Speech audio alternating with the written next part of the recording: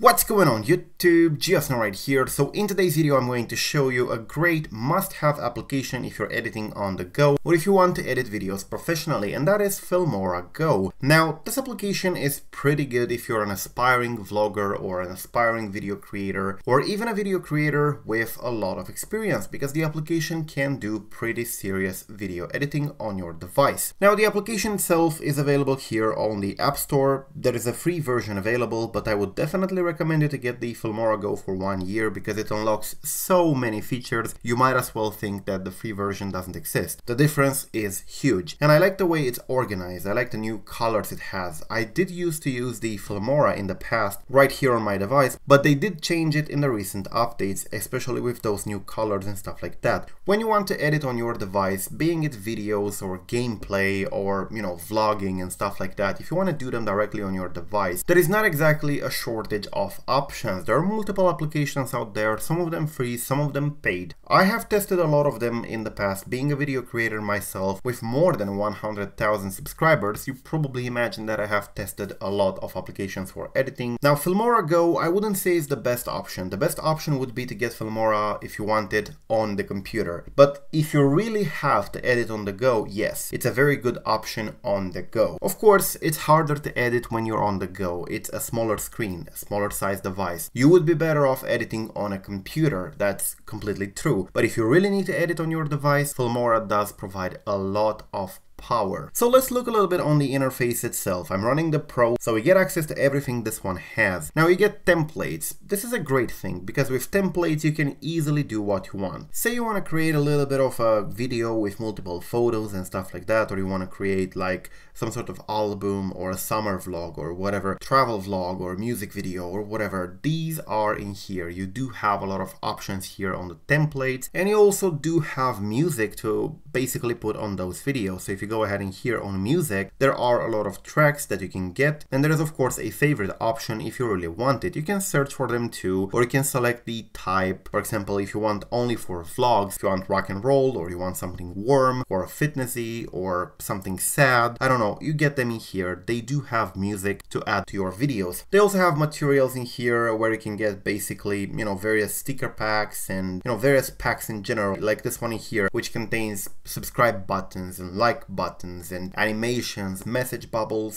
uh, which contains emojis and stuff. It's pretty great. Then a lot of things from anime to cinema to games to whatever. So you do get a lot of stickers or, you know, various callouts or lower thirds and stuff like that. So it's, it's actually great. Then you have filters. You can actually have filters if you want to. And then transitions. If you want various transitions from a photo to another or from a video to another, you do have a couple of them in here. So you do have materials available. Then you have an option option to get the project from camera directly. If you want to film it right now, you can film it directly from here, or you can press new project and select something you already have. And I do, I have these two videos in here, which contain footage from a device, uh, it's basically a tutorial, and footage from a computer, but these are not very well edited. I would need to edit them. So I'm going to import them in here. It creates a new project pretty quickly. I can say it takes too much time. And this is, by the way, an iPhone 7 Plus. While this is not the oldest device possible, it's still not something new. It's still not something very, very powerful by today's standards. And I have no problem scrubbing through the timeline in here. It goes fast, it goes okay. So the application is well made. Here you have a button to select the resolution. And I would definitely advise you to not create anything lower than 30 frames per second 720p. Because by today's standard, people consider even that to be low resolution. So I would go with at least 1080p and at least 60 frames per second if possible. The application is more than happy to comply and it even supports 4K at 60 frames per second. And yes, it may take more time to render your timeline with these settings, but it's better for the viewer. So I'm gonna leave that in there. Here, as I said, you can scrub through your timeline, you can even add videos or photos if you want to, and of course you can select between video, photo or other. Here you have the music, if you need to add music, you can press music in here, it's going to show the music. You can even extract music from a video or add music from iTunes, which is something I really really really like. And then of course you have effects, which are basically various sound effects like level up or success or new message or clock or somebody laughing or somebody nervous or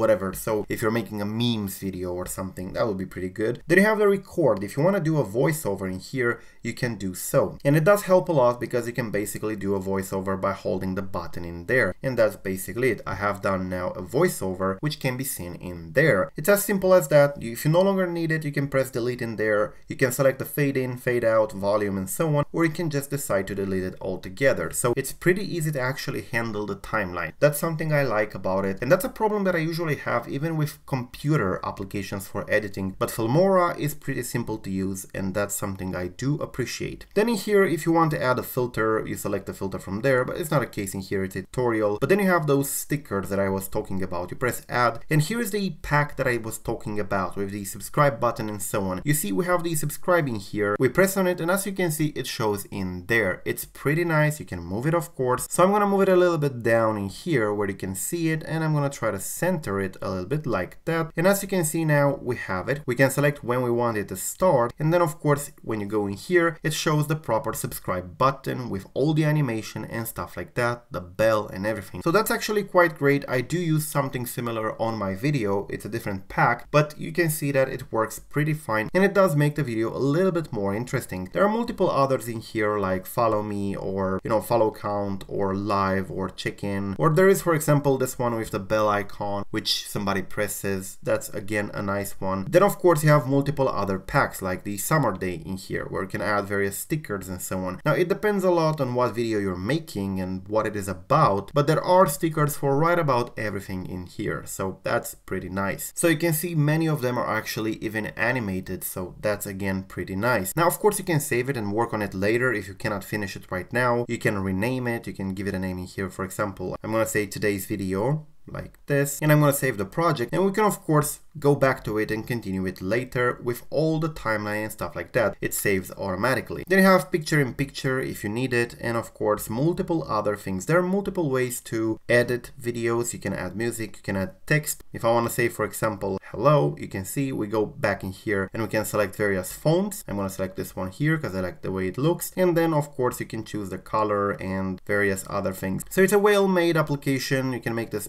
bigger like this. You can rotate it. It's actually a good video editor for on the go. I'm gonna select the opacity in here and then you have various transitions, how do you want it to appear, if you want it to scroll, if you want it to fall down, if you want it to like just glow and so on. So multiple ways to present the text and it can spin and stuff like that. So once you're done with the timeline, once you have everything the way you would want them, you press here on export and it says please don't close Filmora Go. Now depending on how long the video is and depending on how much there is in there, how much editing going on, how many cuts, how many stickers, how many songs. It may take more time and of course depending on the resolution. The bigger, the more time it will take. But as you can see it's not going too slow and I will be able to just upload this video straight to YouTube after Filmora is done with it. Alright, so as you can see it's almost done and that's it. It says, would you recommend it to your friends? Well, definitely. It says in here, save to your album. And from this point, you can just open the YouTube application from here and you will be able to share it on YouTube. You can share it on Facebook, Instagram, TikTok, WhatsApp, or you can press more and you will see multiple other options in here like Messenger or copying to files if you're jailbroken, sending via mail, via airdrop, or adding to a shared album, or even saving the video locally again. So that's it. It's pretty simple to do and it's definitely great great. So yeah, overall I do think that this application is indeed worth it. It does have pretty good reviews in here, over 47,000 people, and an overall review of 4.6 out of 5 stars, so pretty good. And it's a good application, so definitely check it out in the link below. Thank you for watching, I am GeoSn0w, till the next time subscribe to stay updated, and peace out.